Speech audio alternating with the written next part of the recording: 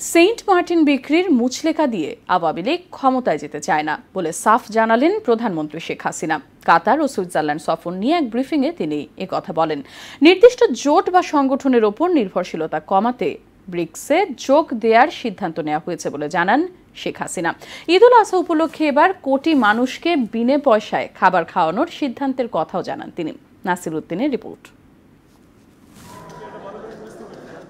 World of work summit এবং Qatar economic ফোরামে অংশ নিতে সম্প্রতি সুইজারল্যান্ড ও কাতার সফর করেন প্রধানমন্ত্রী শেখ হাসিনা। এর বিস্তারিত তুলে ধরতে আয়োজিত সংবাদ সম্মেলনে তিনি বলেন, এলএনজি আমদানির বিষয়ে প্রতিশ্রুতি পূরণ করেছে কাতার। এ নিয়ে চুক্তিও হয়েছে। মহামান্য আমির এবং তাদের মন্ত্রী, তারা তো আমরা ঠিক যেভাবে চেয়েছে আমাদেরকে সেভাবে দিয়েছে আমাদের কিন্তু চুক্তি হয়ে গেছে। ব্রিফিংয়ে বেশিরভাগ প্রশ্নই ছিল জাতীয় নির্বাচন কেন্দ্রিক। নির্ধারিত সময়ে ভোট হবে উল্লেখ করে শেখ হাসিনা বলেন জনগণ চাইলে আওয়ামী লীগ আবারও ক্ষমতায় আসবে। তবে কোনো কিছু বিক্রির মুসলিকা দিয়ে নয়। দু হাজার একে বিএনপি ক্ষমতা এসেছিল। তখন তো গ্যাস বিক্রি করার মুসলেখা দিয়েই ক্ষমতা এসেছিল।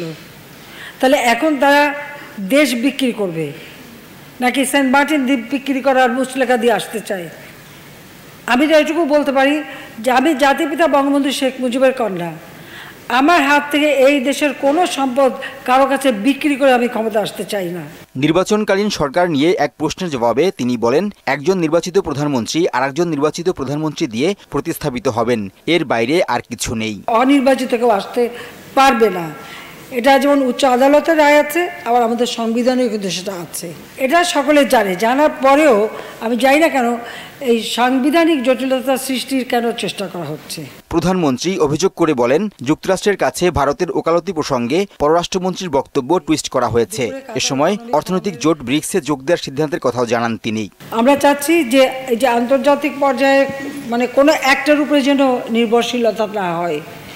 কাজে অন্যান্য দেশের সঙ্গেও যেন আমাদের বিনিময় অর্থ বিনিময়ের সুযোগটা থাকে। আমাদের প্রয়োজনীয় জিনিসগুলি যেন আমরা সহজে ক্রয় করতে পারি আমার দেশের মানুষের কষ্ট লাঘব করতে পারি। নিত্যপণ্যের বাজারে মনোপলির কথা উল্লেখ করে বলেন সিন্ডিকেটের বিরুদ্ধে ব্যবস্থা নেওয়া হবে। মজুদদারি করে কালোবাজারি করার চেষ্টা করে। অবশ্যই তাদের বিরুদ্ধে ব্যবস্থা আমাদের নিতে হবে নিতে হচ্ছে আমরা নিচ্ছি।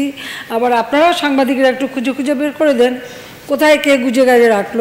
ঈদুল আজহা উপলক্ষে এক কোটি মানুষকে বিনামূল্যে খাবার দেওয়ার সিদ্ধান্ত হয়েছে বলেও জানান প্রধানমন্ত্রী শেখ হাসিনা। আমরা এক কোটি মানুষকে বিনা পয়সা খাবার দেব সেটা আমরা সিদ্ধান্ত নিয়েছি। নাসির উদ্দিন মোহনা সংবাদ ঢাকা।